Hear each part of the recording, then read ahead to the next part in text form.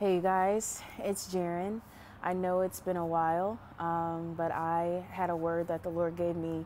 Um, he actually gave this to me um, a while ago, and I've been trying to uh, get on here and record it, but things just kept getting in the way. Um, so I am here now, and um, I want to talk to you guys about, um, you know, what the Lord is doing like in this season last week um, on Rosh Hashanah, um, after uh, the Supreme Court Justice Ruth Bader Ginsburg died, um, I heard the Lord say the tables are turning. And He reminded me of a word that He actually uh, began to give me, um, actually, like within the first few days of 2020. And um, He reminded me of it like maybe six months ago or so. And um, you know, I, but I, I, knew that it wasn't like time to post or any, post it or anything. Um, but the Lord reminded me of it last week, and so I wanted to get on here and you know. Um, basically, the Lord is saying the tables are turning, and He used um, the story from First Kings chapter one to illustrate that to me. Um, now, I'm not going to read um, all of First Kings chapter one; it's really long, but I'm just going to um, summarize um, and sorry for the trash can in the back. I know it's like super weird and awkward and distracting. Probably more so distracting that I pointed it out. anyway, uh, I'm not going to read the whole thing. I'm just going to summarize. Um, so basically, David at this point is really old. He um, is about 70, um, which is you know how old he was when he died. Um, you know he's he's in that age range. He's really old and he can't um, keep himself warm, so he has to he has to have like a, a young um, girl, um, you know, sleep with him, or you know, sleep in the, not sleep with him, you know, in that sense, but sleep with him, um, you know, in the same bed, um, so that he can keep warm. But um, as David is laying in his deathbed, Adonijah, um, which is uh, the fourth son, he decides that he's going to make himself king, and you know, you could you could be alarmed that he would do such a thing, especially while David is still alive. Um, you could be alarmed, but you know, the Bible says um, it says that uh, David had never disciplined him at any time. You know, not even asking him, Adonijah, why are you doing that? So, you know, this was you know, this was no different. Like if Adonijah, you know, he he he thinks himself, oh, I'm going to make myself king. Um, he thinks it's okay to do that. But you know, that doesn't excuse Adonijah because you know he still has a conscience and he still knows that what he was doing was wrong. He just did it because he knew he could get away with it um, because David never, uh, you know, disciplined him. You know, Adonijah still lived, um, you know, in in a time where um, there were kingdoms and monarchies all around. Um, so for him to do something like that, you know, he he knows how kingdom succession works. Um, so uh, he, he knew, uh, basically what I'm saying is he knew what he was doing. Um, so he, um, Adonijah got Joab um, and Abiathar on his side. So Abiathar was uh, the priest that was serving David at the time. And um, Joab was like David's military commander.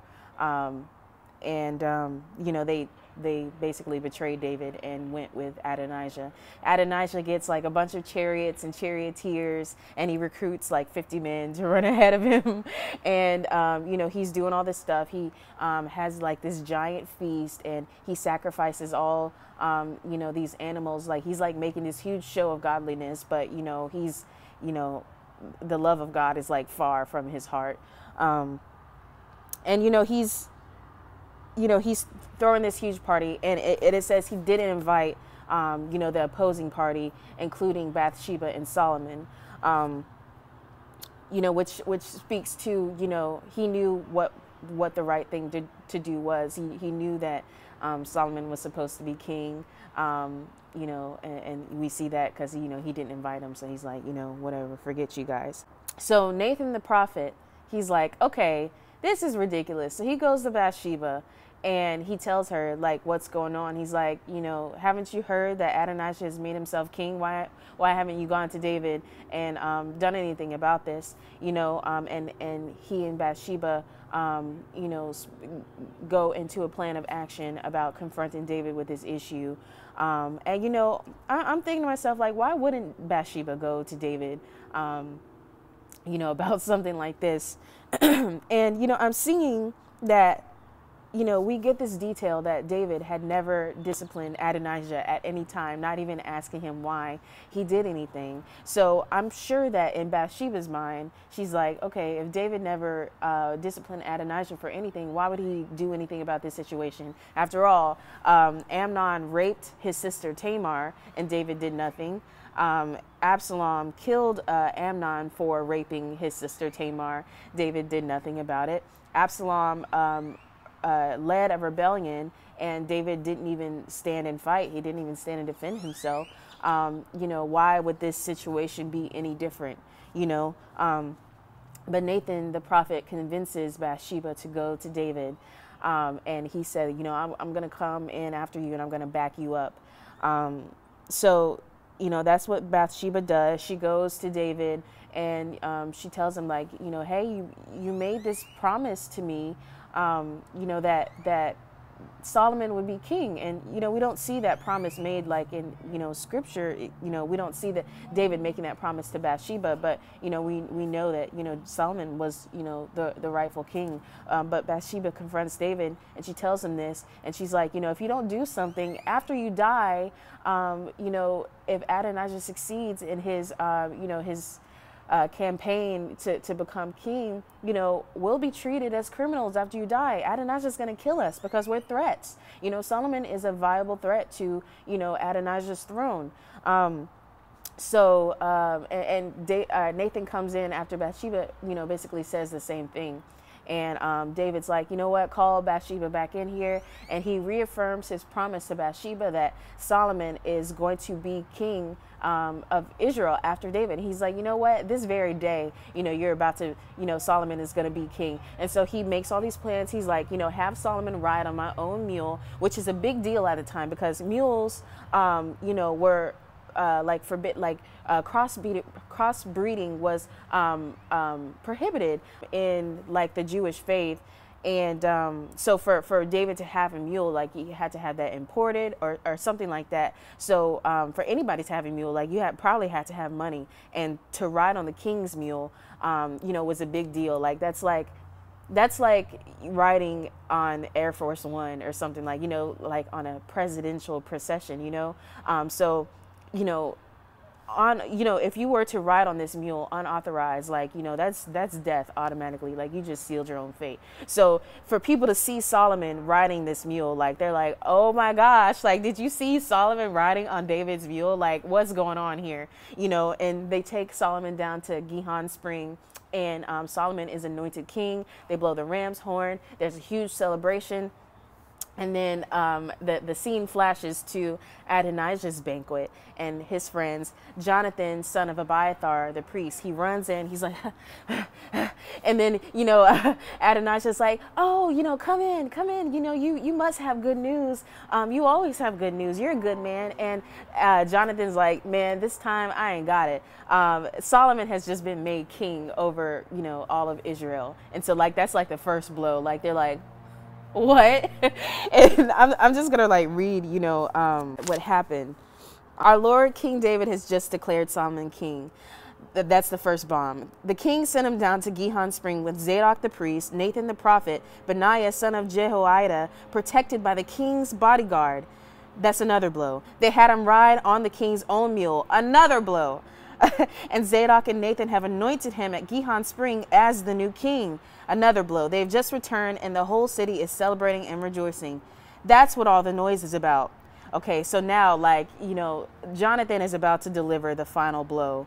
Um, you know, what's more, Solomon is now sitting on the royal throne as king, and all the royal officials have gone to King David and congratulated him, saying, May your God make Solomon Solomon's fame even greater than your own, and may Solomon's reign be even greater than yours. Then the king bowed his head in worship as he lay in bed, and he said, Praise the Lord, the God of Israel, who today has chosen a successor to sit on my throne while I'm still alive to see it.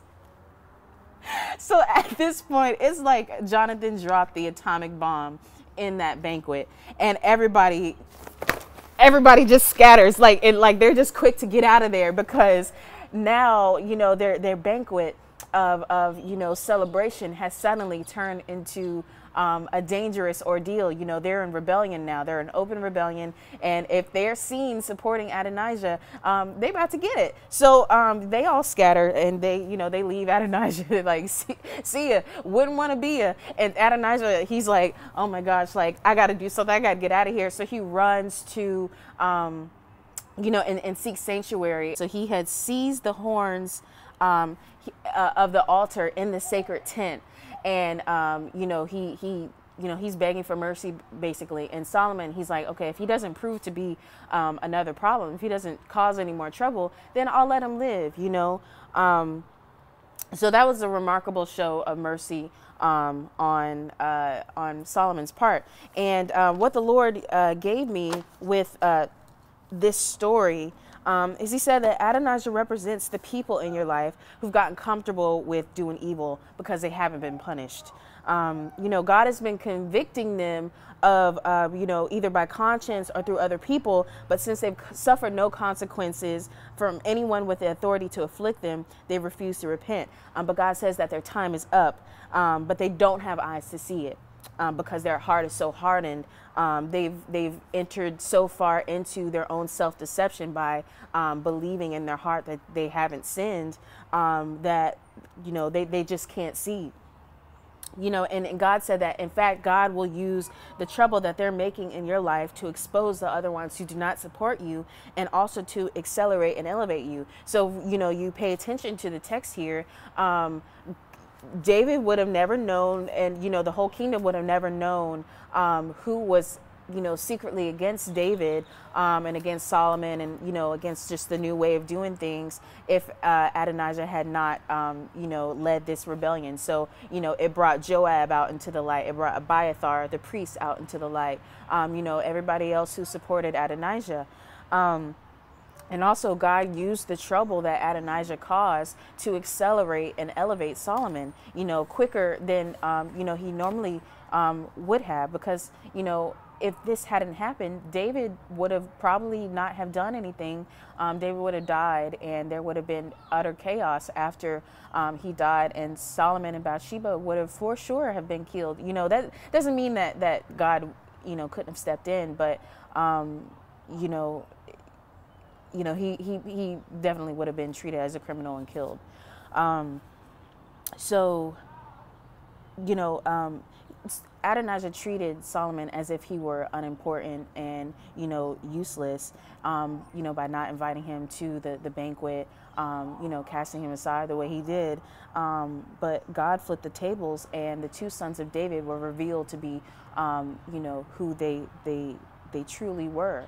Um, so Adonijah paraded himself, at, at, you know, as king of Israel, um, but really he was an impostor. And, and Solomon was treated as insignificant and unimportant, but really um, he was the true king of Israel. So God is saying in this season, what is on the inside of people's hearts will be shown for everybody to see. God will flip it suddenly, and um, everybody will see, um, you know, who you truly are, whether you really serve God or whether you don't, um, whether your your heart is pure or whether it's not.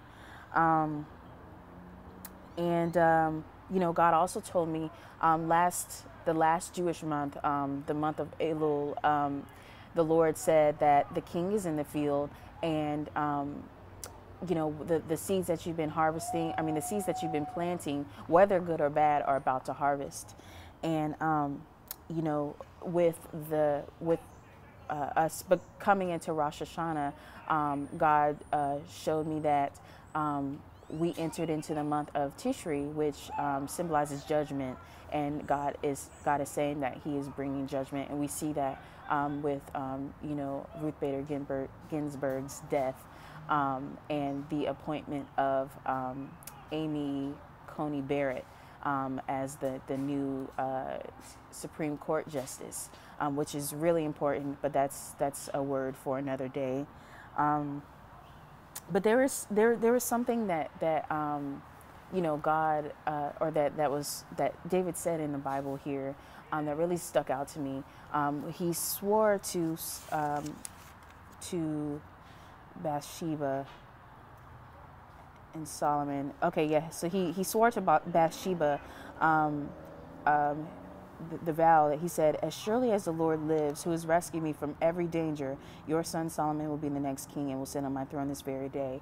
Um, so, you know, he saw fit to mention, you know, that, that God had delivered him from every danger. And if there's anybody who can attest to the fact that God delivers and God protects, it's David. You know, he was running for a lot of his life. He was always in, in some sort of fight. You know, um, you know, he was a man of war and he was always delivered from, um, you know, the danger surrounding him. And um, let's see. And um, God also wanted you to, or wanted me to tell you guys um, the way that Bathsheba um, came to David and told him what was going on. Um, God wants you to do that with him in the same way. He wants he wants you to cast your cares. Sorry, there's like a moth that flew. Um, he wants you to cast your cares on him. Um, he wants you to be persistent. He wants you to um, remind him of the promise that you made to him. Um, you know, the, the persistence was, you know, Bathsheba came and then Nathan came and, you know, um, they uh, reaffirmed everything that Bathsheba said. You know, David was in constant reminder of, um, you know, what he promised to Bathsheba and Solomon. Um, so, you know, be persistent and, and know that God is, is faithful to complete the work um, that he began, um, you know, in your life when he gave you this promise. Um, you know, and, and Solomon, God reminded me that, that when Solomon was born, um, God had him named um, Jedediah, which means beloved of the Lord. You know, and if you know anything about how Solomon was born, um, he was he was a product of a relationship that was born out of um, adultery and murder. And so, for God to um, you know say that of Solomon, you know, it doesn't matter who you are, where you came from, who your parents were, what they did. Um, you know, if you belong to Christ, if you were, uh, the Bible says, if any man is in Christ, he's a new creation. You know, the old has passed away, and and the, and the new life has begun. Um, so you know you have a you, you have a clean slate with God you know when you repent. And um, you know the Lord was just showing me you know with, with Solomon and how he he raised up Solomon in, in this time. Um, you know we are God we, the, the Bible says that we're God's special possession. Um, and um, God has set us apart. Um, so if anybody messes with us, you know, um, the, the, way the devil tries to antagonize us and stuff, um, God takes it personally. And you know, um, when when the devil comes against us, he's really coming against God. So these people in your life who are unrepentant and they're treating you any way they want to, um, you know, they're they're treating you, um, you know, without the fear of God in mind. Um, you know, God says that He's taking that personally. And guys, you know, I can attest to this. This th- th- this has happened to me before. You know, I, if if you're new to this channel, um, you know, in a few pre- previous videos, I've talked about um, a lady who I, I worked with um, at a previous job who, um, you know, the whole time I had been working there for like six months already, and the whole time I was working there, she was always like antagonizing me, antagonizing me, always trying to set traps for me, always trying to get me in trouble, um, just just like laying on very heavy psychological warfare. And um, you know, it all kind of came to a head. Um, you know, um, the, in the six months that I was working there, um, when she literally threatened me. You know, she was in my face screaming, "You guys like." like in my face screaming and um, you know i didn't move i didn't you know um, I, I wasn't gonna fight her, like I wasn't gonna do any of that. And this woman is like old enough to be my grandma, you know, when she's like in my face, you know, doing all this stuff. Um, but but in that moment, um, I remember like it wasn't windy outside or anything, but I felt a small breeze like across my face, and immediately I knew um, that that the spirit of the Lord was standing in between me and her. Um, so even though she was very close to me, she was screaming in my face, and you know um, there was the threat there. Um, it was like I was between her, like it was like there was a glass wall in between me and her because I knew that the Lord had told me that she wasn't fighting against me now; she was fighting against Him, and she will reap what she showed. She will reap what she sowed, and she did reap what she sowed. You know, she ended up getting fired. Um, you know, not immediately after that happened, but she ended up getting fired, and she had been working there for like three years, and she had been doing these things to other people. She had been harassing other people, bullying other people. Um, but but when when when I came in there, um, and not because of anything, you know, I not because of who I am or anything I did, but because God calls me His special possession. Um, when people when people act like that toward me, God is going to deal with them, you know, and He did. He He did deal with her, and um, you know this this story uh, of in, in First Kings, um, you know, it it shows a, a greater overarching story of uh, or a greater overarching lesson of the love and mercy of God. You know, Adonijah deserved to die for what he did, um, but Solomon had mercy on him, and you know, God had mercy on, on Adonijah. And, you know, the mercy and grace that um, God had for Solomon, even though um, he was a product of, of all this um, scandal and things like that, he still saw fit to include Solomon in the messianic line. Um, you know, Solomon being uh, uh, an ancestor of, of Jesus. Um, and so, um, you know, the, the Bible in, entirely is an incredible redemptive story. Um, but you know, this this story is what I'm trying to say. Is this story is overarching. Um, you know, uh, showing God's love and mercy that even if you repent, um, or when you repent, God will still forgive you, and um, God will sh- still show His un- unfailing love and mercy to you. Um, sorry, I don't know why it took me so long to get that out, but um, I want to pray for you guys. Um, oh, and and I, I asked the Lord um, because when I was reading this, and I, I kept reading it over and over, and I asked the Lord, like, you know, what exactly, um, you know, is, is, this word for? You know, because I was thinking, um, I kept thinking, you know, restoration, reconciliation, um, you know, elevation, all that stuff. But God, um, He, you know, I, am repeating again what um, I told you guys, in, you know, earlier. Um, God wants you to anything that He has promised you.